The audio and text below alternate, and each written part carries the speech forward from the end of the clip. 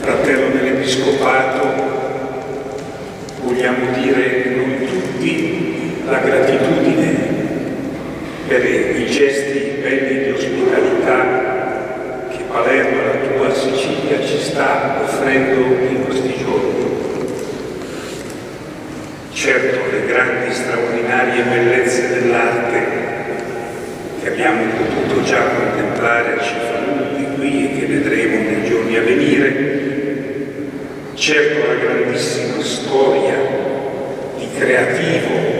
mescolamento di popoli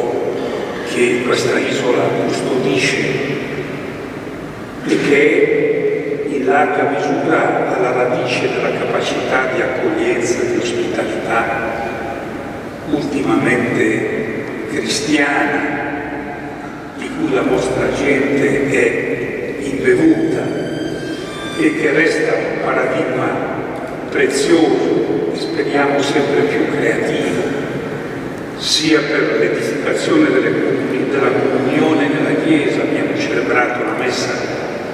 per la Chiesa universale, la cui immagine le nostre Chiese, dalla cui immagine sono formate e che realizzano dalla Chiesa, dalla Chiesa particolare per la comunione, ma soprattutto siamo grati a questa Chiesa per la sua storia di santità e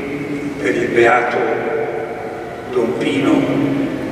che stiamo imparando a conoscere meglio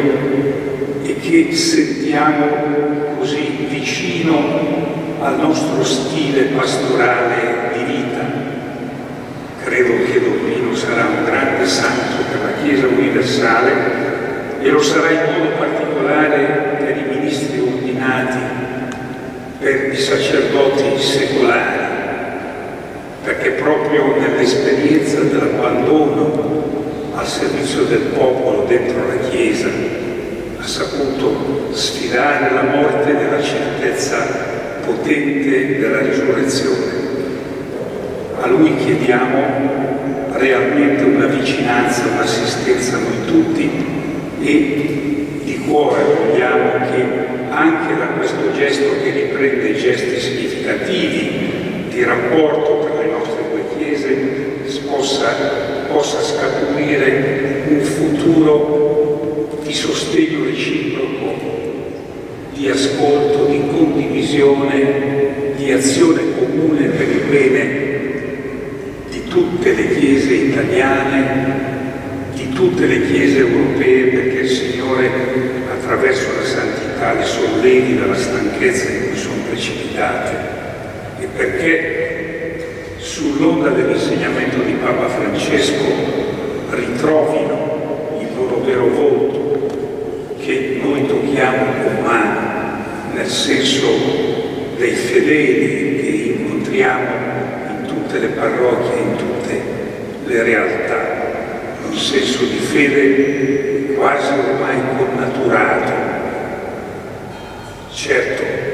segna di più coloro che sono più avanti nell'età, ma tutti questi giovani preti sanno molto bene che devono comunicare con la loro vita e con l'annuncio esplicito e diretto di Gesù e in Gesù con la condivisione del bisogno di tutti devono comunicare questo, questa sensibilità, questa, questo senso. Rinnoviamo pertanto a te e a tutta la tua Chiesa la nostra gratitudine e la vogliamo segnare con un dono che è un po' appariscente, ma che invece è modesto nella sua sostanza, perché è il classico metallo dorato, è il dono della croce, della riproduzione di una croce molto antica del IV secolo che si trova in Sant'Ambrogio a Milano e che l'arcivescovo di Milano è uso donare a tutti i vescovi che lo visitano.